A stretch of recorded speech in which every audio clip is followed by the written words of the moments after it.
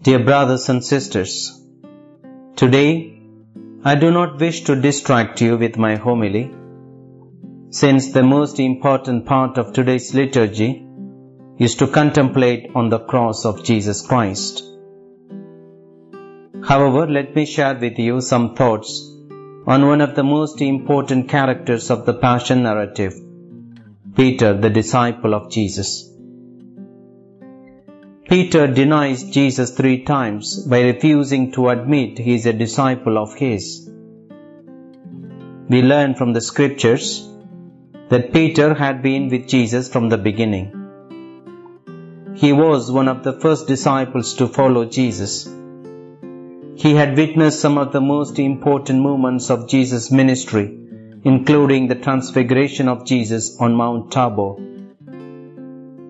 when Jesus had asked his disciples whether they would also go away like many others, Peter boldly confessed his faith and said, Lord, to whom shall we go? You have the words of eternal life.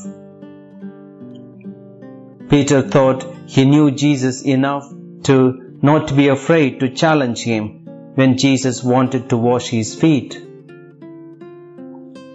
Peter had promised Jesus that he was ready to give his life for him. Peter loved Jesus so much that he tried to protect him by cutting off the ear of a soldier during his arrest. But then, on the contrary, he behaved cowardly when he was confronted by the people. While Jesus was inside the courtyard, being harshly interrogated by the high priest, his opponents, Peter, sitting outside with the guards, denied three times that he knew Jesus. In short, I would say that Peter was one of Jesus Christ's most devoted followers. Yet during Jesus' final hours, he not only abandoned his Master and Lord Jesus, but also denied three times that he even knew him. Why did Peter deny him? The reason is that all along Simon Peter was afraid Jesus would die and he feared for his own life as well.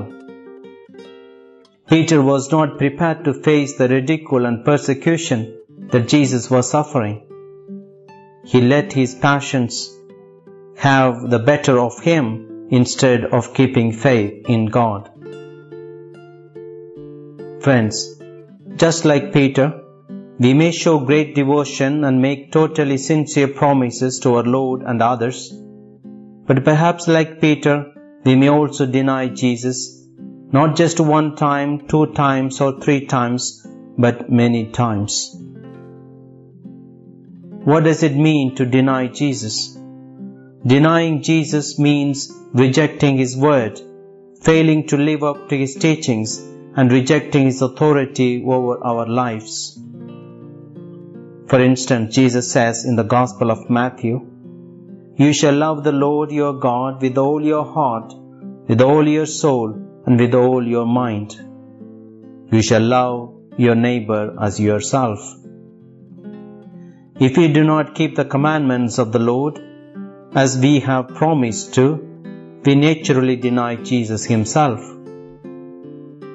Like Peter, we may have promised devotion to and love for our parents, spouse, children, and friends.